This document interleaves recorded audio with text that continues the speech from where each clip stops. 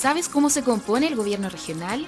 El gobierno regional está compuesto por el intendente como representante del gobierno central y el Consejo Regional o CORE, integrado por los representantes de las tres provincias que componen el total del territorio. Nuestra región de Coquimbo contiene 15 comunas que son representadas por los municipios.